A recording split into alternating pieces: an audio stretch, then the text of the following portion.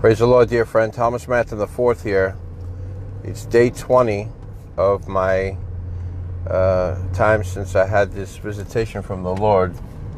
And really, every day is a visitation, isn't it? But the thing is, God spoke about 30 days of, you know, being before Him. And really, it's all the days of our life, but God is uh, interested in us being very serious with Him.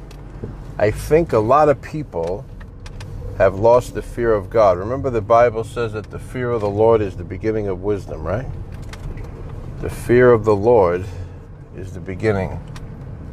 So, I want to tell you that uh, we need to really get back to the basics of when we were first saved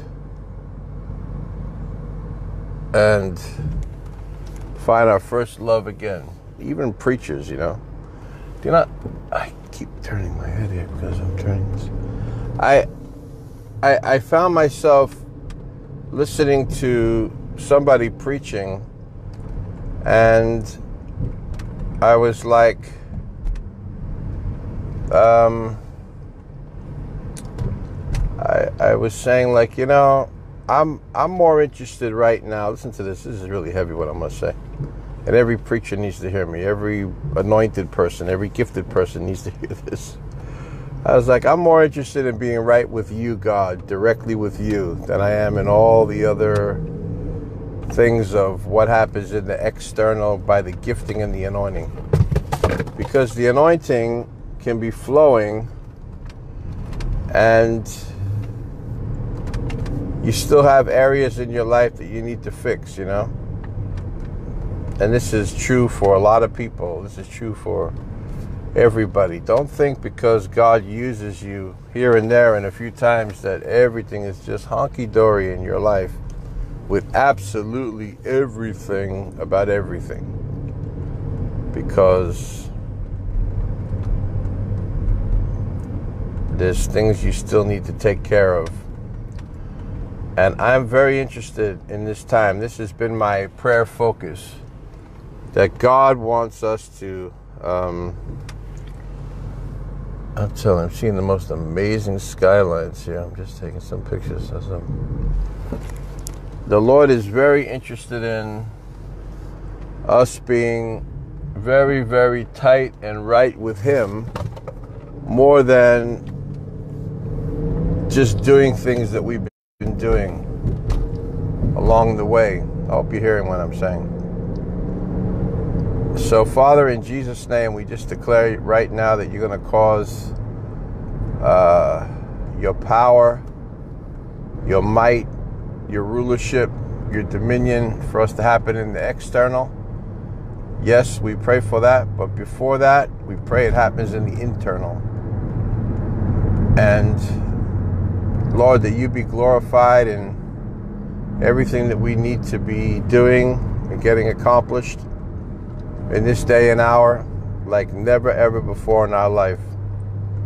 It is that time now, says the Lord, when I'm going to begin to, what I'm starting to prophesy here, the, the, when I'm going to begin to shine my spotlight from heaven upon you to show you everything that needs to be sorted, everything that needs to be worked on, everything in your character, everything in your um, life on earth, relationships and situations, all types of things that from A to Z, top to bottom, bottom to top, side to side, left to right, up and down, in and out.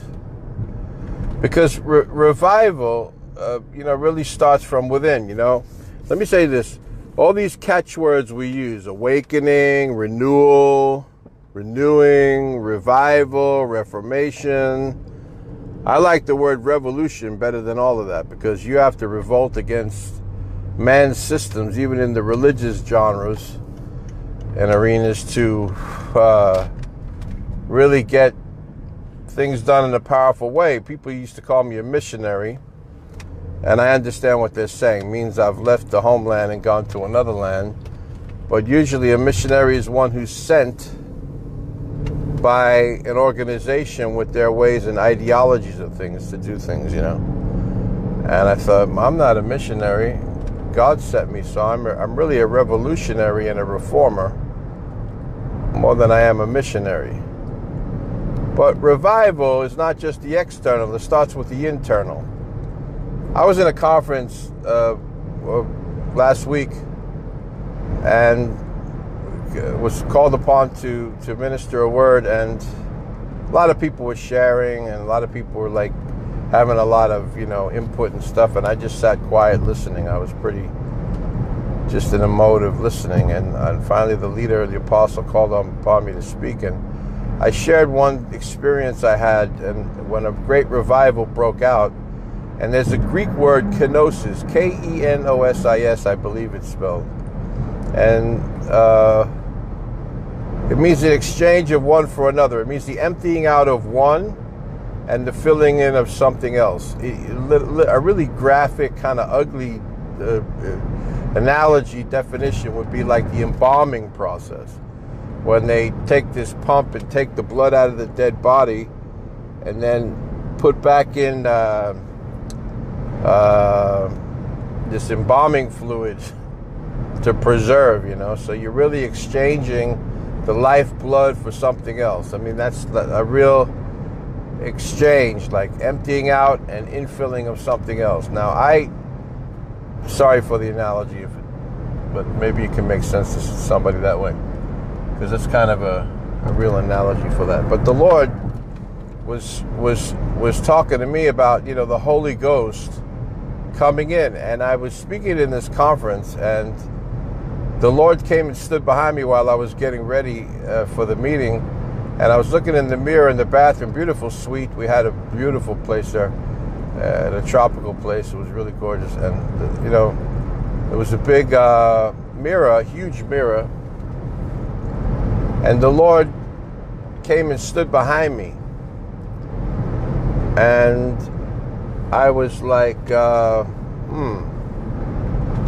I saw him the Holy Spirit, literally like in the form of a, of a person, but the glory cloud. I can't explain all that right now, but too much. But like another time, I, I might do that. But and I looked at myself again, and I said, Lord, take him, and you come and fill him and there was an exchange moment. The power of God hit me, and it wasn't just like so I'd shake and whatever. There was a real transference. It was a it was an epiphany. It was a visitation from heaven.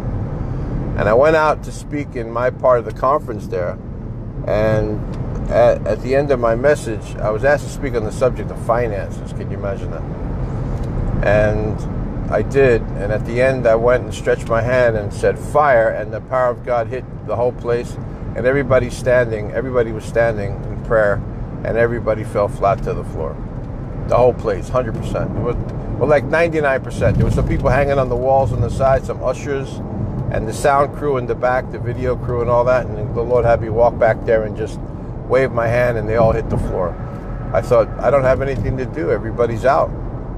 Out. So I went and sat on the platform, put my head down, and was kind of weeping and praying. And saying, Oh Lord, and waited until everyone came to a bit and got back up and we continued with the meeting. Now that began and commenced a revival that went on for months.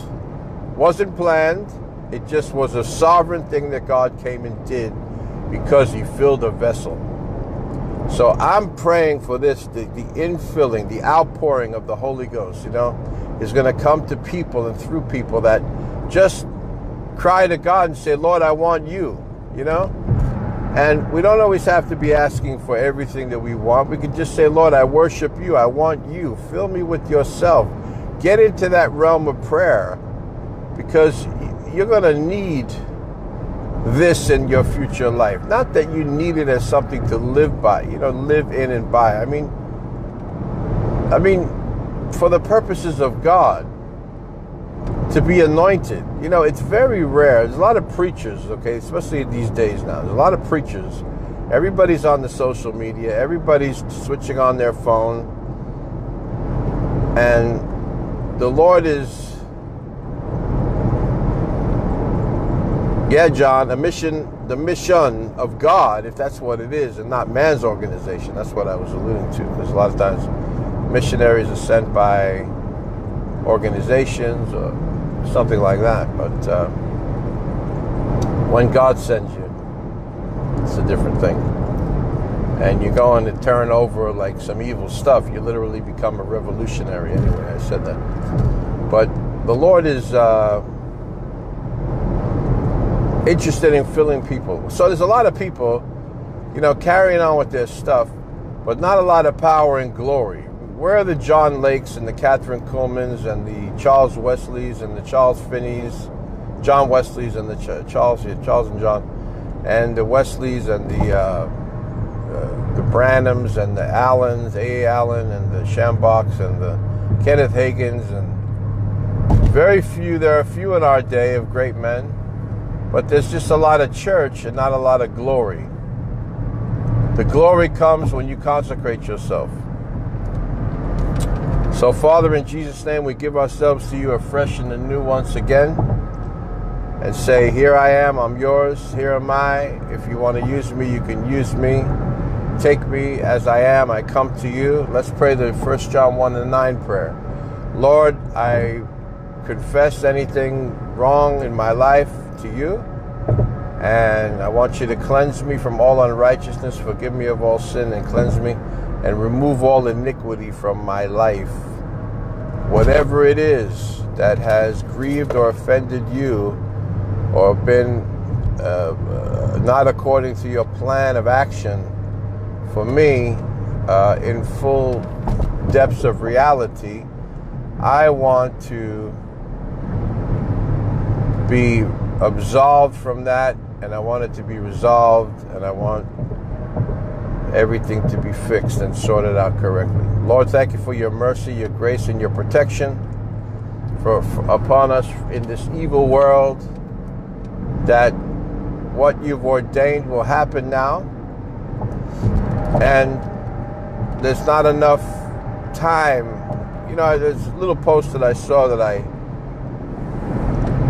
that I posted. I thought it was good. said, how many? Tom-? Well, I, I, like to ask the question in a more positive way than the way it was said. I'm, I'm a better writer than these blog writers. I'm a brilliant writer, and I'm, I'm writing some, and I'm going to take all my all my quotes and stuff like that, and we're going to get them all in print. They're going, they're to get out. It's going to happen. You're going to, you're going to have. You're going to have. Yes, in Jesus' mighty name. So be it. Thank you for the help, Lord, to help us get all of our media things and writings all out there to the world. That's where they belong. But how, like you asked the question, how many tomorrows do you really have? You can quantify them. You know, it's not an endless journey. I mean, there is a, fin- a finite uh, time of life before we go into the infinite. The infinite, the infinite, you know, comes from the finite, first ending and really, there's a day and an hour for everybody. I, I pray too that God extends our life. Remember Psalm Psalm 91:16 says, uh, "With long life you'll satisfy us, Lord, and show us your salvation."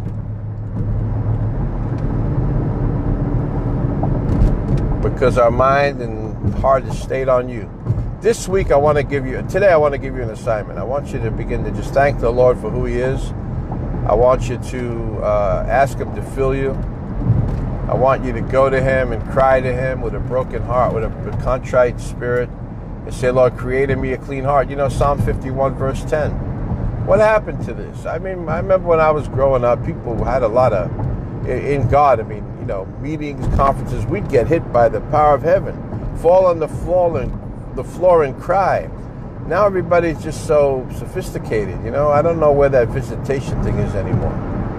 I'm not saying it doesn't happen, but it's not going to happen just because we call the conference awake or renew or revive or revive and thrive, you know. We're going to thrive in this season. We're going to survive. We're going to, well, not survive, but we're going to, you know, renewal, awakening, you know, all this stuff. It's great revival. Great. Great. You know that those are those are good words. Those are powerful words. But it's not enough just to say them. It's more important that we live and experience them. So God is really tired of, uh, I think, all this stuff. Some people just need to just be quiet. If they don't have anything powerful to say that's going to be life changing, I'm into essence, I'm into substance. My dear friend, I thought about you all day today, and here you are. Wherefore art thou, oh Romeo and Juliet? I was going to do the Shakespearean chant for you. Timothy James Walker, great, very gifted man. John Lancer, good to see you. Maximo de Leon, my friend in New Jersey, God bless you. Matt and Amy Carpenter. Yeah, and everybody else is coming on. Forgive me, I'll like to say hi to everybody. Paul Macharia, God bless you. I don't want to forget you. You're always on. John Bell, there you are again. Someone named Margaret. You, someone has the Facebook name Margaret with no other name. You're really special if you just got it like that. You should try to get Margaret.com. that uh, domain will be worth a lot of money, you know, later on if you want to sell it, not use it. So uh, there is money in that if you feel like flipping a domain if you get a good one. But if you get a good one, you really want to use it. And once you're using it, that's it. You know. They told me my domain and my website is worth money.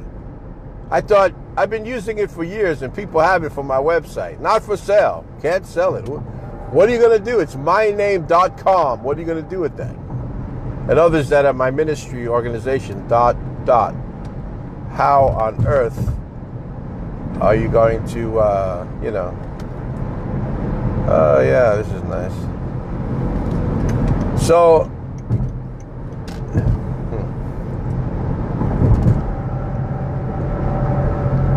we need we need to come with substance. You know, like if I'm listening to someone, as I was saying, I like to learn something. Tell me something I don't know, man. Don't tell me the obvious.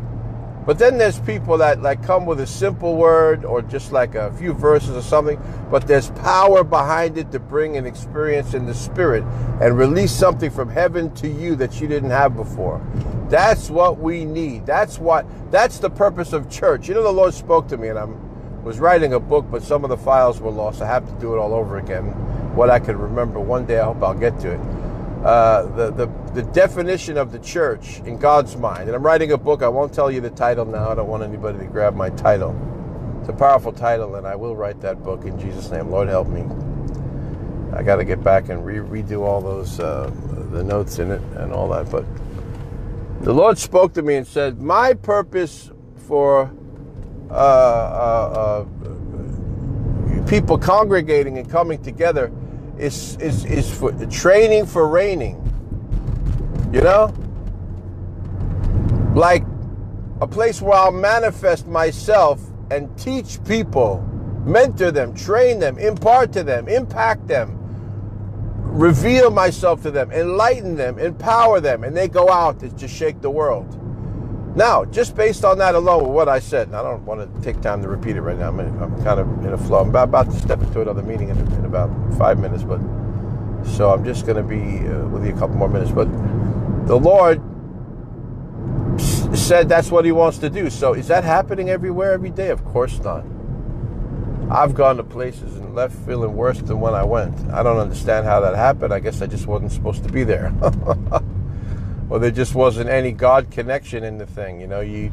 I remember one time I drove so far to go to a meet, a series of meetings, and like back and forth a few times, and then I just said, "What am I doing?" I left early, was grieved. Something was very wrong, and you know, goofy stuff going on in the midst of it, and it was cracked up to be this, uh, you know, this great thing. You know, revival and. and for me, I've gone to churches and just thought, you know, going to this church, I mean, to speak and preach and deliver the word. And um, we never negate or neg- uh, regret that because someone's going to get blessed. But just the atmosphere, way, the way the thing was going, it wasn't leading to anything. You know, it just wasn't good enough, in my estimation. For what the big thing that God wanted to do was disappointing. So I want to challenge everybody. The way you fix all these things is schisms and isms and problems and uh, lacks of things. Uh, is is to get yourself uh, on the tight program and go back to God and say, Look here, Father, I need help. God, I feel like crying when I say it. I need you. I need you. I need you. You, you, you, you, you. I mean, what? What am I doing if I don't have your hand upon my life? The God's hand is upon my life. We've, We've seen blind eyes open, deaf ears open, cripples walk, people healed of terminal diseases. God's used me to prophesy elections for millions of people. Brazil and Kenya and all these other countries, uh, even America with President Trump and all that. All, all these things and dethrone the other ones and make sure he got elected. Pray to him. You know, so much has happened around the world. Like in the nation of Kenya, it's been a phenomenon. For, for 18 years, or 19 years now, almost 20 years, every election that's happened in that country, God put me on national television to speak and declare, national media to, to, to, declare what was going to happen in the election. And it happened. You know, you can't just come out and prophesy and be wrong like that. You know, and of course, I would never go to say anything that God didn't tell me to say, but God's given me that commission. So all of these things, it's not like, you know, we haven't walked in anything or even walking in, you know, anything currently, of course. But there's more. And there's there's things that God wants to talk to you about. There's things he wants to share with you. There's things this intimacy thing. This intimacy issue between you and the Father God, between you and the Holy Spirit, between you and Jesus himself.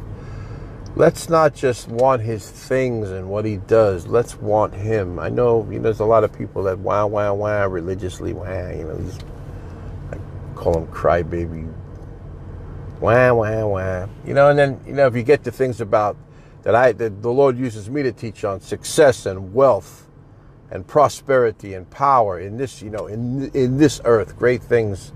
Hey, no apology. It's anointed.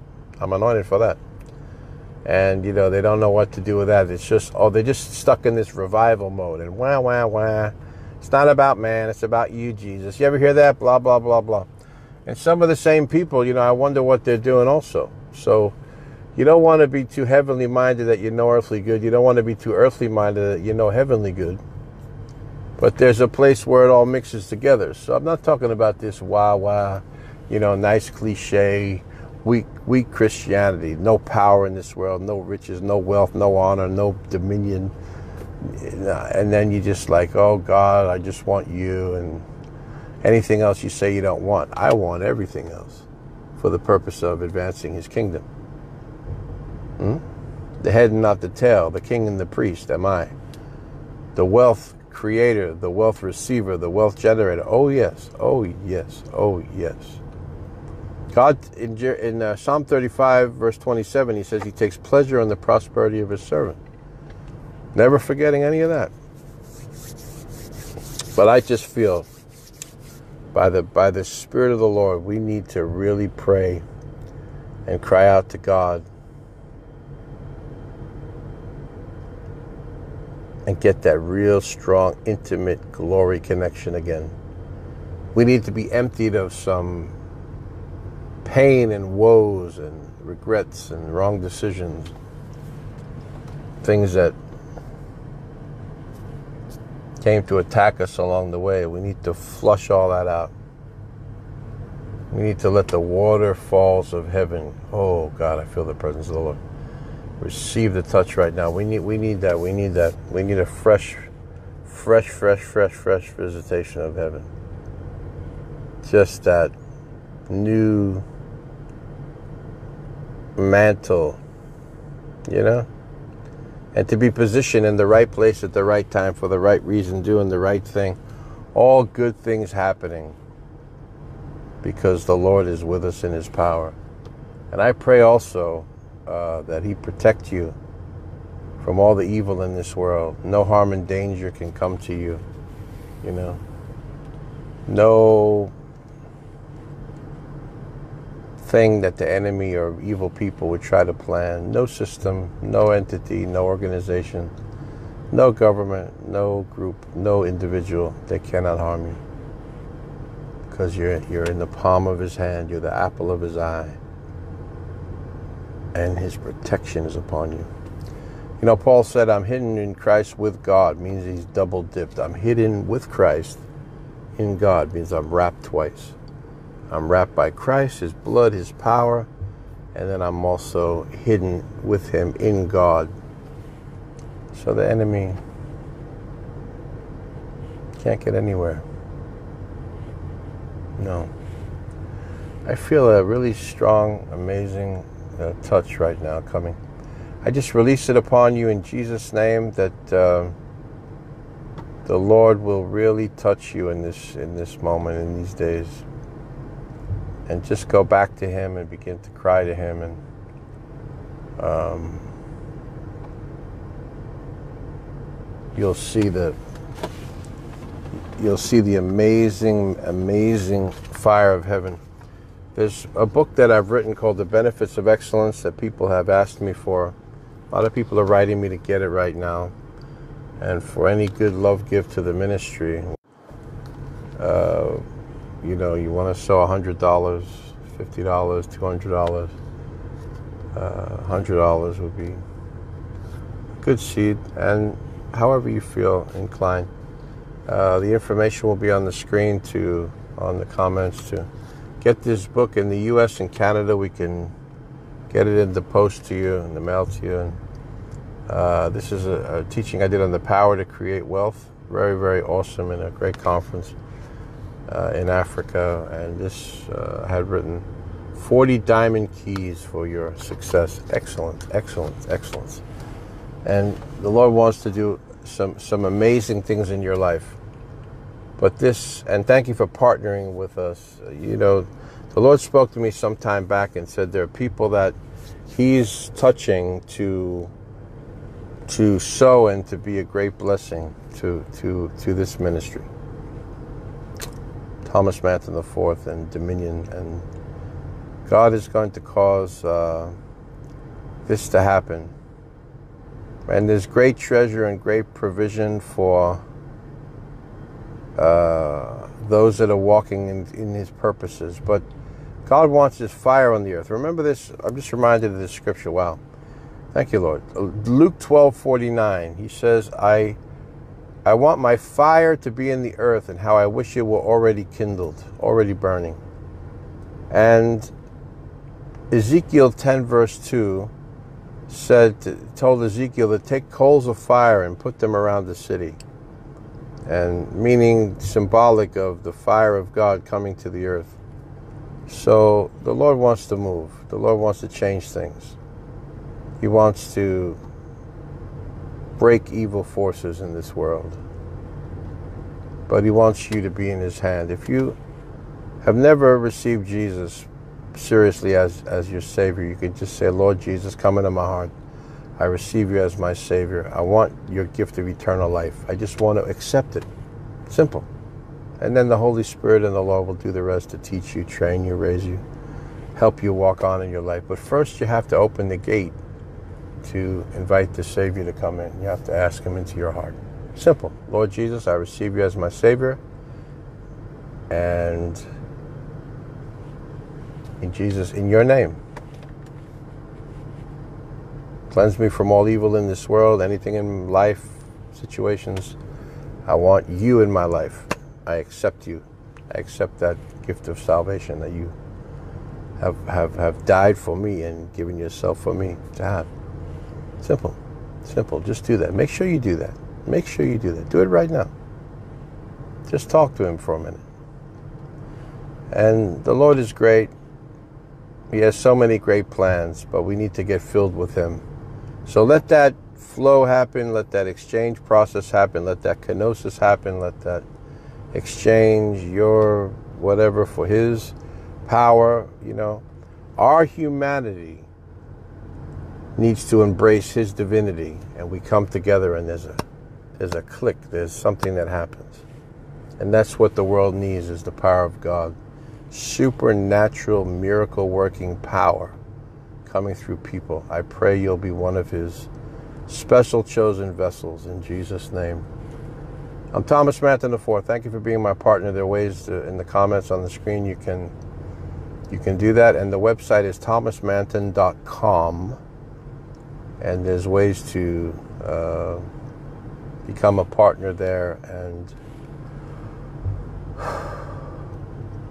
if you'd like to get the book and the DVD in the US and Canada, we can get that to you. You can just make sure you um, get your address to us. And I think there's a way to do that. There's a portal on the website. You can type in your some comments. Do it all on the website on thomasmanton.com. Love you. Got to go. Talk to you on the next broadcast. Just some thoughts about you getting closer to Him and Him closer to you. Let's connect and change the world in a good way. In Jesus' name. Amen. Thank you so much, John, for putting that on. You can put the rest in the comments. I love you, and I'll see you on the next broadcast. Amen.